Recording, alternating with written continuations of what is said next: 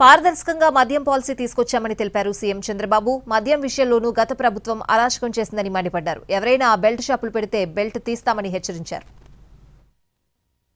ఇప్పుడు కూడా అర్థం కాని విషయం.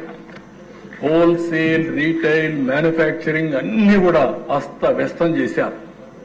ఈ రోజు ఈ ప్రభుత్వం వచ్చిన తర్వాత ఒక ట్రాన్స్పరెంట్ మెథడ్ తీసుకొచ్చాం.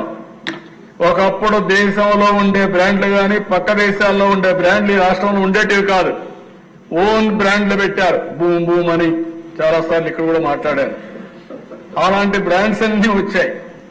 ఈరోజు ఆ బ్రాండ్లన్నీ పోయి స్టాండర్డ్ బ్రాండ్స్ వచ్చాయి. ఈరోజు ఎవరైనా సరే నా బ్రాండ్ లేదనో లేకుంటే ఎవరైనా మ్యానిపులేట్ చేస్తున్నారని చెప్పే అవకాశం లేకుండా చేశాం. అదే మరిగా షాపుల అలాట్మెంట్ కూడా లాటరీ వేసాం. అందరి సమస్యలు లాటరీ వేసి ఇచ్చాం తప్ప ఎక్కడా రికమెండేషన్ జరగలేదు.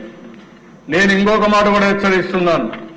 ఎవరైనా సరే ఆ షాపు పెట్టుకొని ఎక్కడైనా రీటైల్గా మీ ఇష్ట ప్రకారం అమ్మితే మాత్రం కబద్దార్ జాగ్రత్తగా ఉండండి. బెల్ట్ షాప్ వస్తే మాత్రం బెల్ట్ తీస్తాం.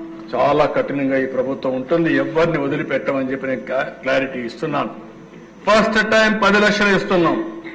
రెండోసారి ఇంకా ఏ మాత్రం నిర్మోహమాటంగా ఆ షాప్ని క్యాన్సిల్ చేస్తామని చెప్పి కూడా నేను మీకు తెలియజేస్తున్నా. ఇక్కడుండే ఎమ్మెల్యేలందరినీ కోరుతున్నాను ఎన్డీఏ ఎమ్మెల్యేస్ అందరినీ. మనందరం కలిసి మన నియోజకవర్గంలో బెల్ట్ షాపులు లేకుండా మన వాళ్ళు ఎవరు ఎవరిని తప్పు చేసేవాడిని ఎక్కడ సహకరించకుండా మన తన విభేదాలు లేకుండా ప్రక్షాళన చేసే బాధ్యత